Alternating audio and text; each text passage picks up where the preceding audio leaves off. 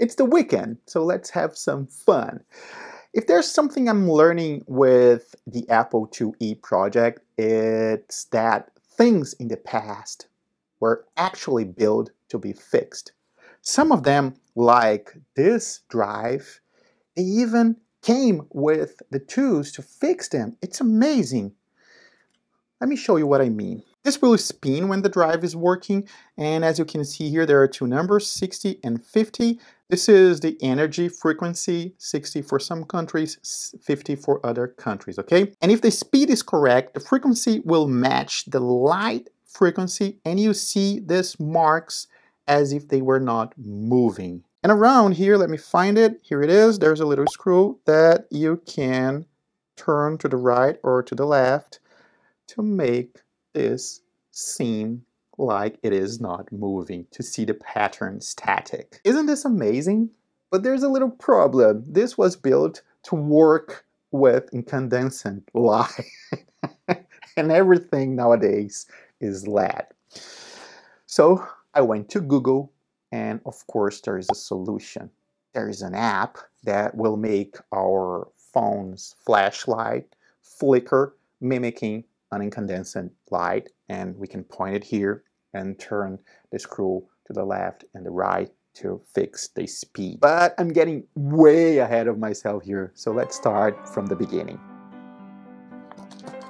Thanks to demand and scarcity, vintage computer parts are getting more and more expensive every day, but I knew I'd need at least one drive to make this project work, and I kept searching for a miracle on eBay. After many months, I finally found one that I was willing to pay what the seller was asking for, but it was listed as untested. Okay, it looks like it is in good condition. No rust. The boards look great. So let's test it. Okay, this is more of a power or sound test because I don't have any discs. I ordered some, but they haven't arrived yet. They're arriving in the next couple of days. So let's see if it powers on and if it sounds okay.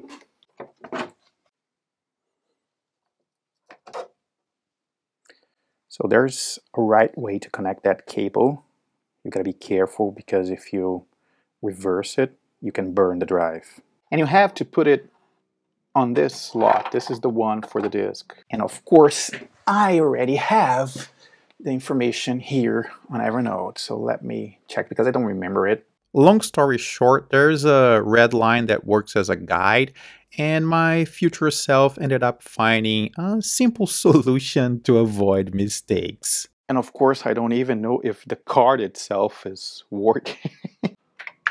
Let me try to, I don't know how to say this, call the disk. it's PR number.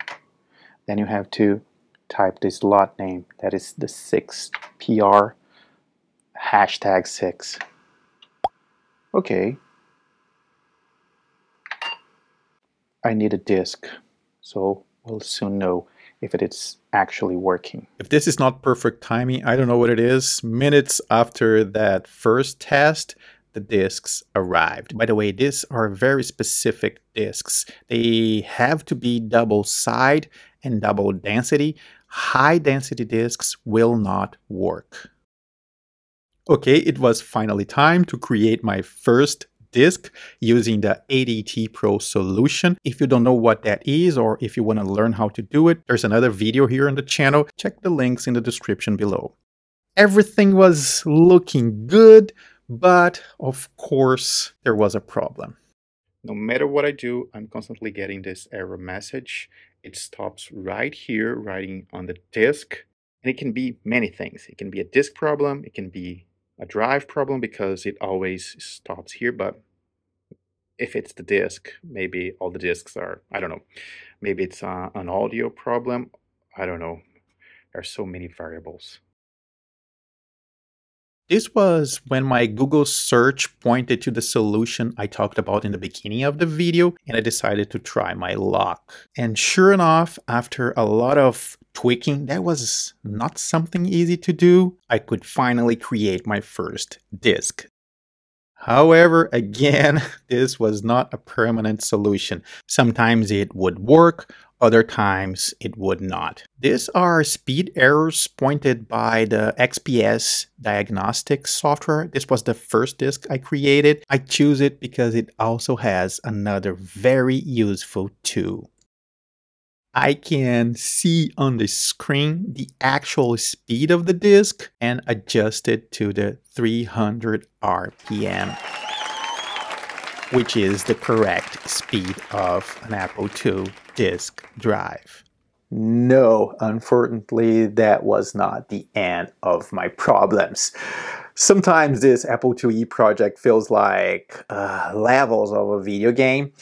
I have to finish one to unlock the next one, and I still had one to unlock. Most of the disks I was creating worked, but sometimes one or another would still generate an error right before the ending of the recording. Uh, a little past that, that point that I was having the problem before, right to the end, when it was almost there, it would crash. I would get that same error message. Ah, what could this be? In situations like this, I stop and give myself a break, especially in personal projects like this. By the way, this took weeks, not an afternoon, not some days, weeks. Everything you're seeing here in minutes took weeks. This is a personal project that I was working on during my weekends, so it took a lot of time. And a couple of days after that break, I had this click moment. One of the softwares that I was trying to record to the disk was a very large one. Let me show you how one of these disks work. So what happens here is the computer reads or writes from inside the disk to the edges. There's a disk, of course, here. And if it's a small software, of course, it's going to write just a little bit of the disk. And if it's a large one, it's going to reach the edge of the disk. And I decided to try to record a large software with the drive opened. And that's when I noticed a weird noise at the end of the recording. This time I didn't need Google's help. That sounded like the drive asking for a little bit of lubrication.